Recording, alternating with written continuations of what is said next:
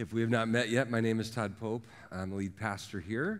And I wanted to um, start by we're going to do something a little different, probably like once a month. We want to we want to start praying regularly for other churches in our community because uh, they're our teammates, and I, we're not in competition with any other gospel-believing church in this area. We are we are teammates, and the and the, the God's word says when one part suffers, we all suffer.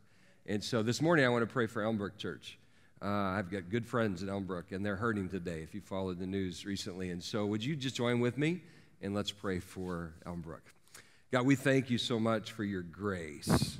Lord, I thank you that your grace is greater than all of our sin. And so, Lord, we just come and we uh, join together today and we pray for Elmbrook Church. We pray that you would uh, that you would minister to them as they're going through a hurting season. That you would minister to them, God. I pray that this would be a season that they would have tremendous unity uh, God, I pray that you would anoint the leadership there, God, that you would just help them to, to navigate these waters. And I just pray for your favor. Uh, God, I pray that the gospel would continue going forth. I pray that people would continue getting saved. And Lord, that you would build that church and, and strengthen them in a tremendous way. Uh, Lord, we pray for all the, the families. We pray for Pastor Jason. We pray that you would minister to him and his family, that you would touch them. And God, we just give you praise and we honor you, Lord, in the name of Jesus. We pray that you would speak to us today through this message. Uh, God, that you'd help us to tune in and to hear your voice. God, you're speaking, you're leading. Help us to hear and help us to follow. And God, we give you the praise and the honor in Jesus' name. Amen. Amen. Well, welcome to those that are watching online, or if you're watching this at a later time, watching the podcast. Uh, we've been in the series called Let, uh, this is our third week, and we've been exploring scriptures in the New Testament that, that use that word, let. You know, the first week we Jesus said, "Let me teach you." Last week we talked about, uh, "Let the peace of Christ rule your heart and mind." And and so today we have got another double let passage, a passage of scripture that has two lets. Uh, but what we're learning, in fact, in our community group on on uh, Friday night, one of the people in the group said like, I never like considered like how powerful this little this little word is. And so that's my prayer for all of us that maybe we haven't tuned in to like how incredibly powerful this word is and we're learning that.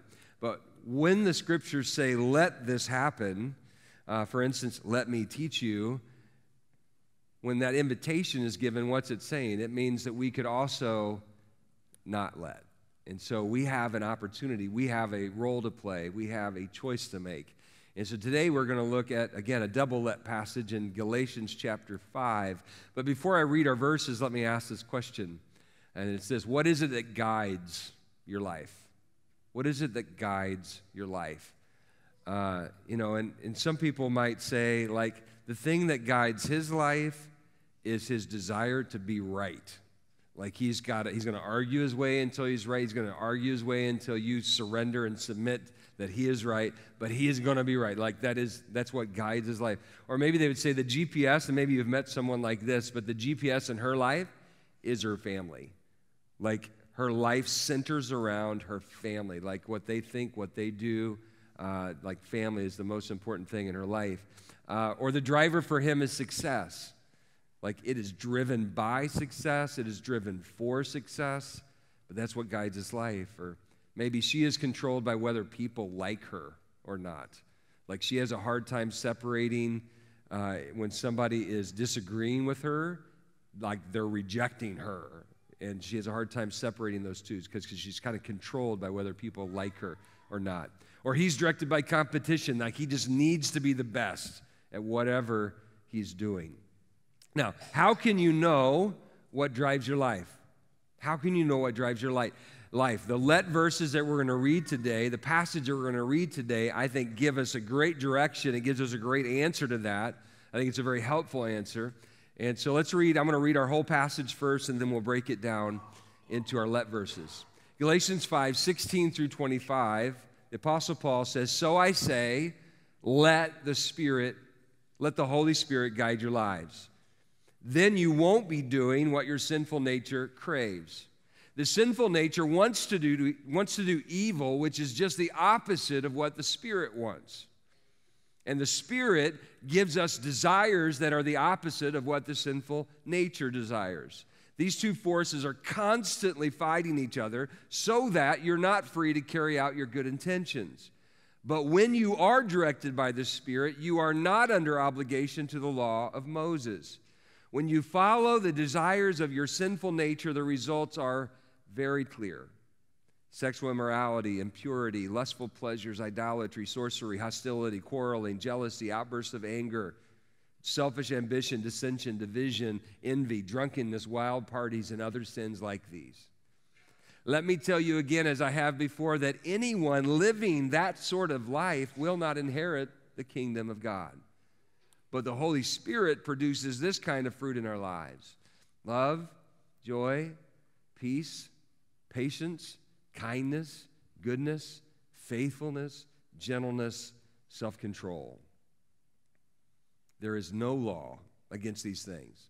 Those who belong to Christ Jesus have nailed the passions and desires of their sinful nature to his cross and crucified them there.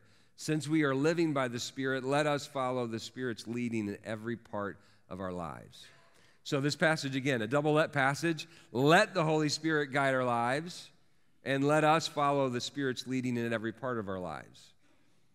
The Holy Spirit, this is something I've learned. The Holy Spirit is always leading, but we're not always following. Like He's always speaking, He's always leading, He's always directing, but we're not always following. We don't let Him always guide us. And let me let you in on a secret. Excuse me. Let me let you in on a secret that might offend you. Are, are you ready? Like, put on your big boy pants or your big girl pants. This might offend you. You are not smart enough to direct your own life. And neither am I. Right? And if you think you are, you probably have made some messes in your life when you've done that right? We're not smart enough. Like, I need the Holy Spirit to direct me and to guide me and to guide my life because I am not smart enough. I mean, how many times have you had control of the wheel when your life careened out of control? Uh, isn't there a better way? And I'm going to say, yes, there's a much better way. And that better way is let the Holy Spirit guide your life. Let the Holy Spirit guide your life. The voice translation puts this way let the Spirit bring order to your life. I like that. See, the Holy Spirit wants to guide your life, but He doesn't demand that you follow. I mean, He is a gentleman. You know, I remember one person uh, years ago, it's probably five or six years ago, that I went to visit in jail. And, uh, you know, he was, he was accused of something pretty horrific. And uh, so I went to visit him in jail, and he's declaring his innocence. And he said somebody had told him that God has a plan for my life. He says, Is that true? And I'm like, Yes, God has a plan for your life. The Bible says that uh, very clearly. And he says, What a great beep plan. And then he proceeded to repeat that a few times with just anger. And can I tell you something? God has a plan for your life. God has a tremendous plan for your life. But when it's like his was, he wasn't following God's plan.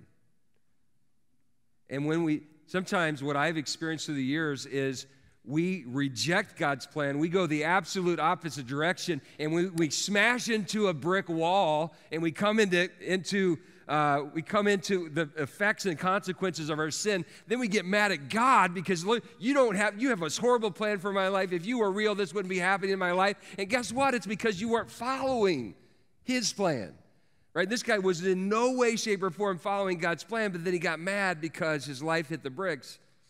And then, by the way, later he admitted that he had done that which he was in jail for, and now he's been in prison for, again, these six years. The Holy Spirit wants to guide your life, but he doesn't make you follow. Here's the truth God does have a great plan for your life. Are you following it? Are you letting him lead? And we can see this desire played out in several scriptures, right? Psalm 32, 8, 9, the Lord says, I will guide you along the best pathway for your life. He's like, I've got the best pathway for your life. I'm going to guide you along that. I will advise you and watch over you. Do not be like a senseless horse or mule that needs a bit and bridle to keep it under control. Have you ever been like the senseless horse or mule? I could read the King James Version this morning, but I won't. Have you ever been the senseless horse or mule? Yeah, right? But he says, I will guide you along, but sometimes there's a bit and bridle that has to be in effect because we're not listening. Romans 8, 12 through 15. Therefore, dear brothers and sisters, you have no obligation to do what your sinful nature urges you to do. Your sinful nature is trying to get you to do something, right? It's trying to guide your life. And he says, For if you live by its dictates, if you live by its direction, by its guidance, you will die. But if through the power of the Spirit you put to death the deeds of your sinful nature, you will live. For all who are led by the Spirit of God, all who follow his leading, all who let him guide us, for all who are led by the Spirit of God are children of God. So you have not received a spirit that makes you fearful slaves. Instead, you received God's spirit when he adopted you as his own children, and now we call him Abba Father. Proverbs 3, 5, and 6 in the message says, Trust God from the bottom of your heart. Don't try to figure out everything on your own. You're not smart enough. I just added that part, but that's really what it's saying. That's what it's saying. Listen to God's voice in everything you do and everywhere you go, He's the one who will keep you on track. You're not going to keep yourself on track. Your spouse can't keep you on track. Your parents can't keep you on track. The Holy Spirit can keep us on track if we listen. John 16, 13, when the Spirit of truth comes, he will guide you into all truth. He will guide you, he will lead you, he will keep you on track. Now, our text in Galatians 5 makes it clear that there is a daily battle, right? There's a daily battle of who will lead your life. Uh, you may have been misled at some point that if you prayed a prayer of salvation and you gave your heart to Christ, like the battle's over. Can I tell you? The battle just began, all right? The bell just went ding, ding. And now daily you will face a battle. You will face the battle of will I let my flesh win the day and rule the day, or will I let the Spirit of God guide my life today? right? We get to be and we get to decide that because every day these two forces are constantly fighting each other. So how do you know who or what is leading your life? I think in this passage, and this is what I want you to remember from today's message, it gives us this hint on how to tell, and it's this: the proof is in the fruit. All you got to do is look at the fruit of your life. And the fruit of your life will point to who's leading your life. The fruit of your life will point to who's leading your life. That's what Paul is telling us in this passage. If you want to know whether you're letting the Holy Spirit guide your life, look at the fruit. Look at the fruit of your life. The fruit either points to our sinful nature or to the Spirit. And this passage again says there is a constant battle. And I'm sure you can probably think of some days that your flesh won, right? Your sinful nature won that day, right? Can you remember a day or two or a thousand like that? Those of you that are not raising your hands, you're letting, this, you're letting your flesh win right this moment as you lie in the house of God. All right. And hopefully, you have some days that you can also remember that you're like, oh, the Spirit won that day. Like, I remember that day. I, I really did do what He was leading me to do. And you can think of some days like that as well. But I want you to notice when we look at this passage, is this whose fruit is it? Whose fruit is it? The verse again says the Holy Spirit produces this kind of fruit in our lives, right? It's not your fruit, it's the Holy Spirit's fruit. This kind of fruit, it's spiritual fruit. It's not born out of effort. You don't, you don't produce it, right? It's not like, I need more patience, so poof, mm, I'm going to pop out some fruit. You know, I need some patience, so I'm going to try really hard. I'm going to put sticky notes up in my in my car that says "Be patient, be patient, be patient." I'm going to put it up on my mirror. I'm going to put it up around my everywhere I go. I'm going to see this reminder to be patient, to be patient. Can I tell you that? How well does that work? It might be okay. I'm not. You, if you need that, great. But that's not the way that patience is is produced in your life. Patience is a fruit of His Spirit at work in your life. And so it's it's it's not works. It's not effort, it's submission. It's not works, it's faith. It's not me, it's him.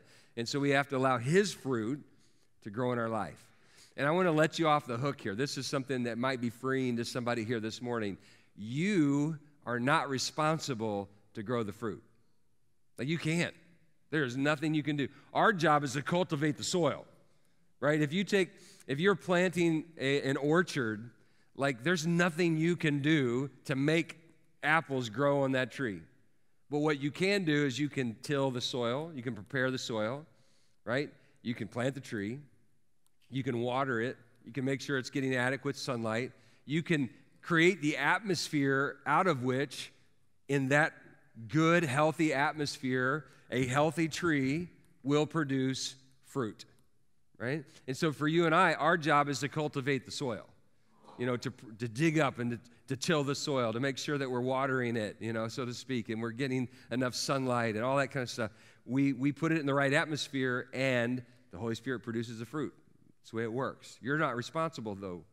You can't try extra hard and produce more love or more joy, right? Peace and patience and kindness and goodness and faithfulness and gentleness and self control. You don't get that stuff just by trying harder.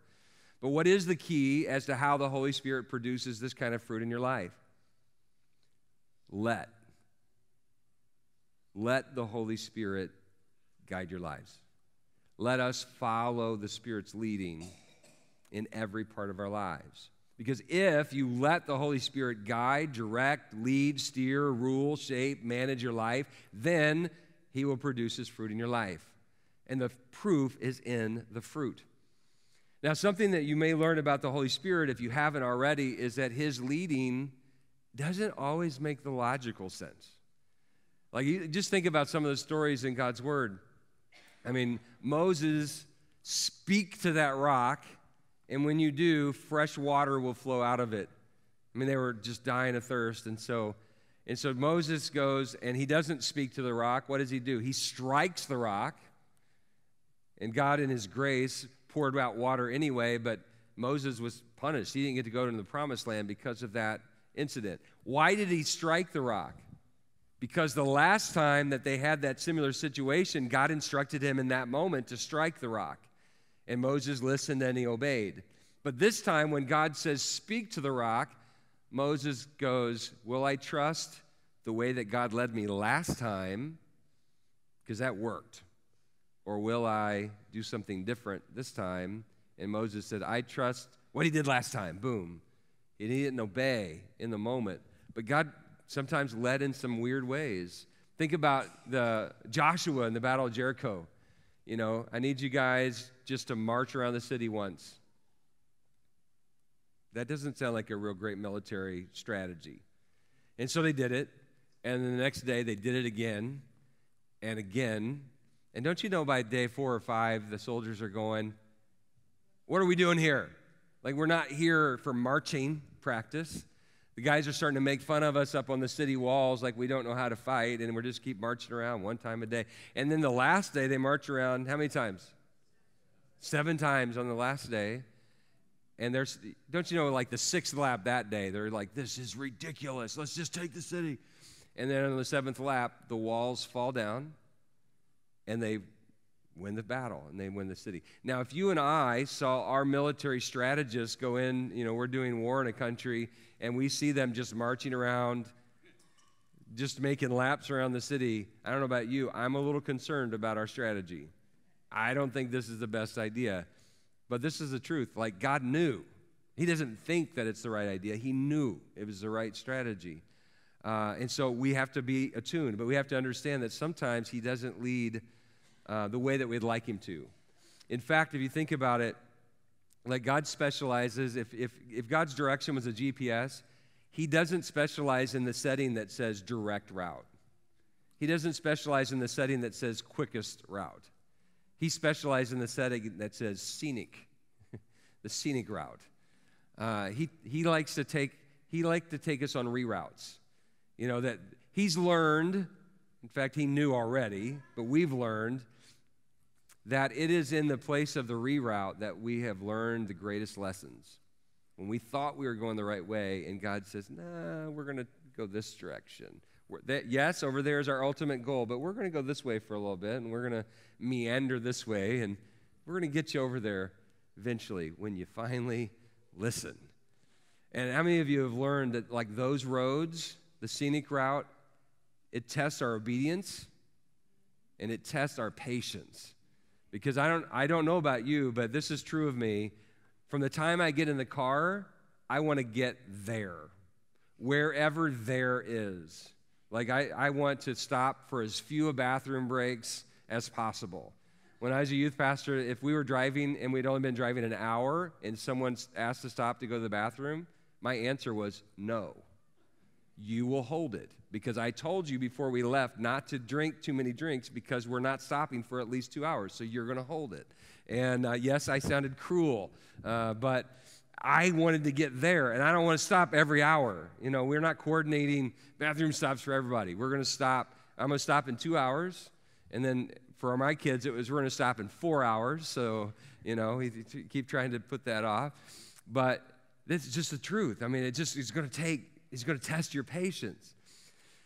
So here's the truth you got to keep your eye on the fruit. When you follow the desires of your sinful nature, Paul says the results are very clear. And really, what he's saying is the fruit, the evidence, is very clear. You know, another way of saying that is um, something I saw on a billboard years ago. It was up on the side of a building. And I've seen hundreds of those through the years, but this one, for some reason, just struck a chord uh, in my heart. It's become a, kind of one of those core values for me and something I remind myself all the time, and it's just true. And it's this what you feed grows. And I've said that many times in other sermons. I will say it many more times. It's something I want to get in your spirit. What you feed grows. You want to know what kind of fruit that you're going to have in your life I'll tell you this it comes out of what you're feeding it. So your spirit, the Bible says right here, your spirit and God's spirit comes into conflict every day. Sinful nature and the spirit of God come into conflict every day. Guess which one's going to win? The one you're feeding. Right? The one that you feed the most is going to be the one that wins that battle the majority of the time. So what you feed grows. And so Paul in this moment says, uh, when you follow when you're following the directions of your, of your sinful nature, when you're following that voice, the results are very clear sexual immorality, impurity, lustful pleasures, idolatry, sorcery, hostility, quarreling, jealousy, outbursts of anger, selfish ambition, dissension, division, envy, drunkenness, wild parties. And, and Paul includes this at the end, and I think it's brilliant. He concludes by saying, and other sins like these.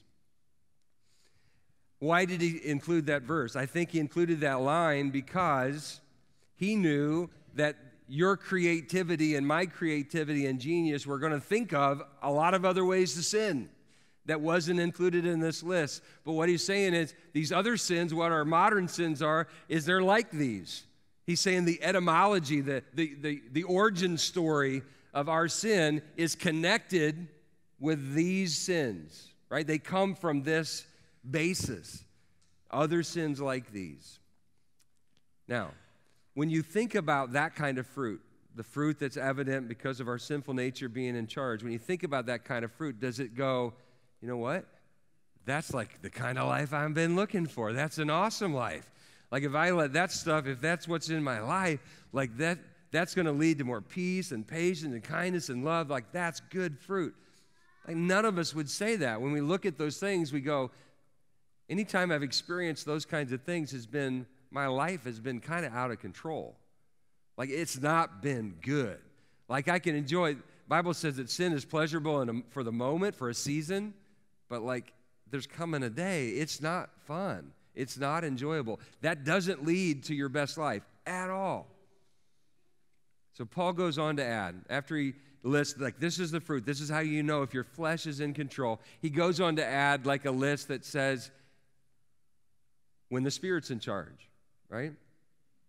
When the Spirit's in charge. Galatians 5 22 and 23. But the Holy Spirit produces this kind of fruit in our lives love, joy, peace, patience, kindness, goodness, faithfulness, gentleness, self control.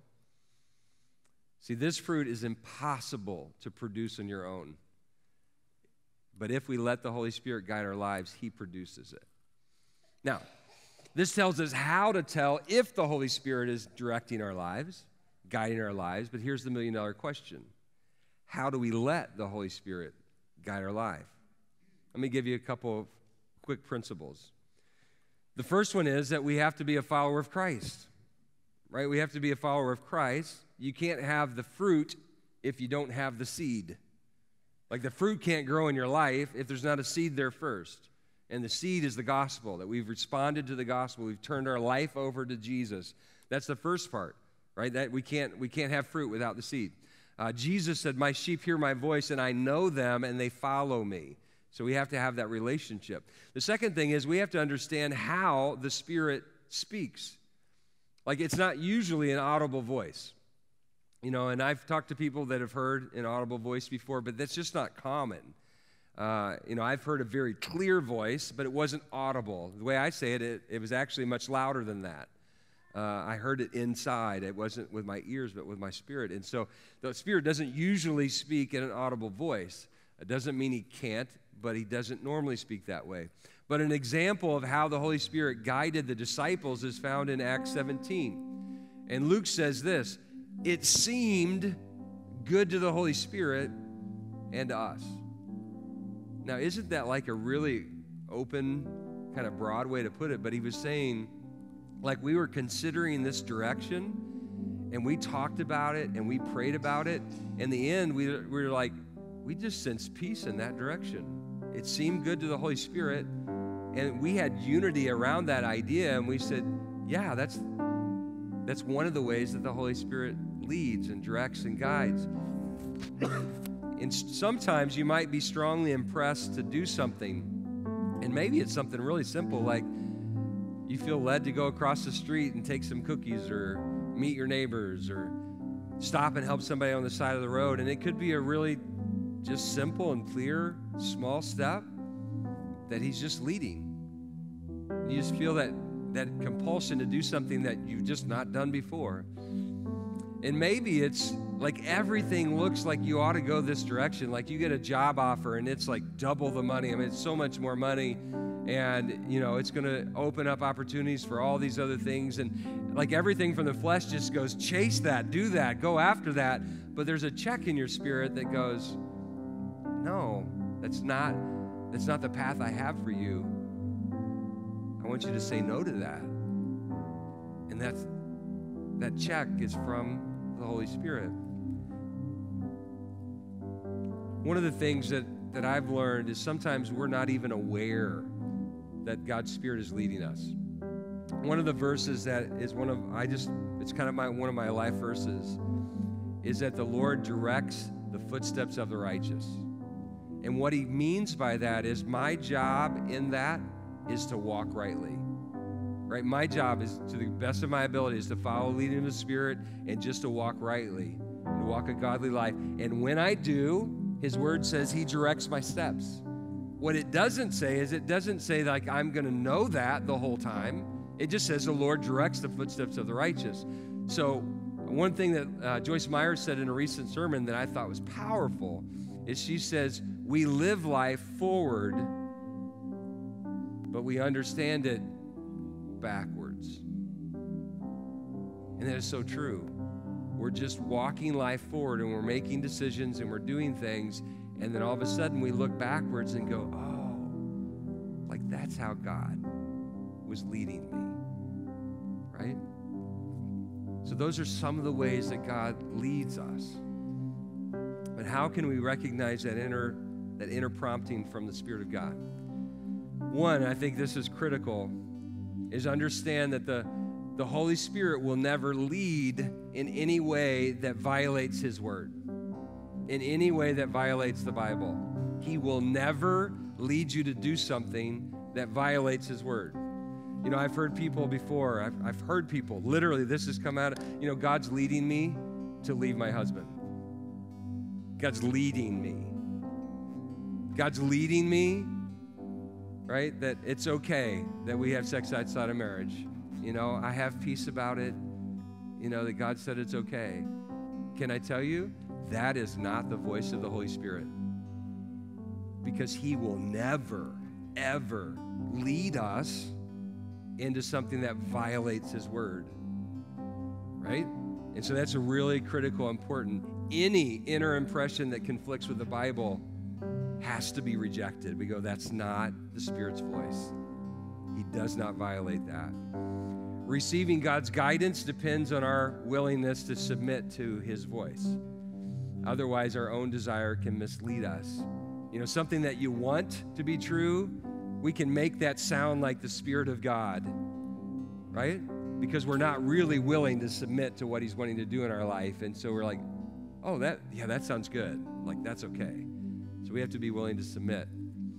Um, a daily prayer life will cause us to grow in our relationship with God and it helps us become increasingly sensitive to His leading. You know, the more that you get to know God, you know, and you have that daily time, the more that you get to know Him, the more you're going to be able to recognize His voice. And His word promises, My sheep hear my voice, I know them, they follow me.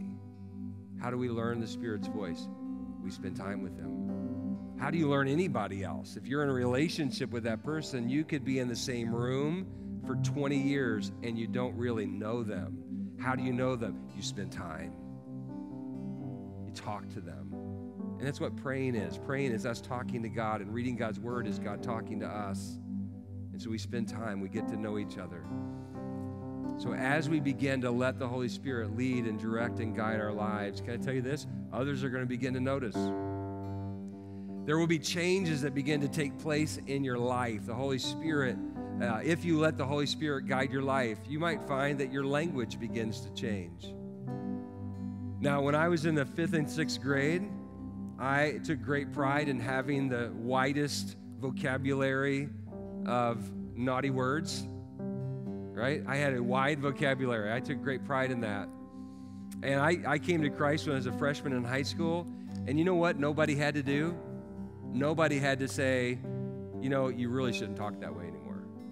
Like, you really should start to clean that up. Nobody had to tell me that. You know what happened though? Is my language changed. Because now I had somebody else that I, would, I had invited in, and I learned that that wasn't a good representation of him if I was trying to communicate with friends and, and others. And so he just cleaned up my language.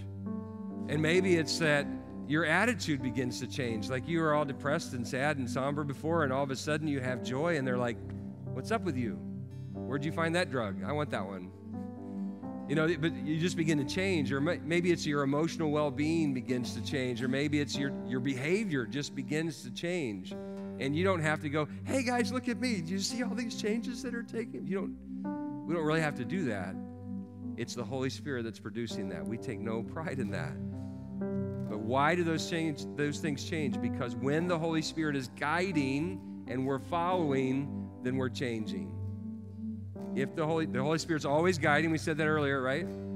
And to the extent that we are listening and following, we're changing.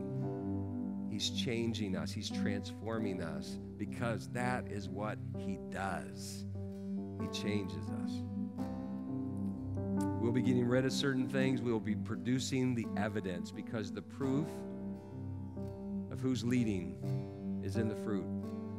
So, our job then is to pursue to pursue the Holy Spirit, to chase after the Holy Spirit, to let the Holy Spirit guide our lives. And when we do, there will be fruit because what we feed grows. Every head bowed and every eye closed in this place this morning. And I, I just want to simply open the altars during this last song to simply pursue, to pursue the Holy Spirit, to passionately chase after God, to declare your desire. God, help me. Lord, give me strength. I want to let you. I want to let you guide my life. Holy Spirit, I need you. Holy Spirit, I want you. If you want the Holy Spirit to guide your life, then take a step. Tell Him, invite Him. But remember, we can't have the fruit if we don't have the seed. So if you're not a follower of Christ, invite Him. Ask Him to come into your life, forgive you of your sins, to be your Lord and Savior. Come to one of our prayer team members that'll be coming up and tell them what your need is today. But let's all stand this morning. And as we sing this song that says, Come to the altar, I just implore you to follow, listen, let the Holy Spirit guide.